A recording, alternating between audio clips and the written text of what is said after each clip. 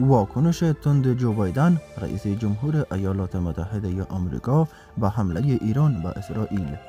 هموطنان گرامی درود و سلام بر شما. خوش آمدید به یکی دیگر از ویدیوهای خبری این کانال. تقاضا می‌کنیم تا پایان این ویدیو با ما همراه بوده و این کانال را like و subscribe نمایید تا از ویدیوهای جدید و روزانه ما نیز با خبر شوید. واکنش تند جو بایدن رئیس جمهور ایالات متحده آمریکا به حمله ایران و اسرائیل افغانستان اینترنشنل.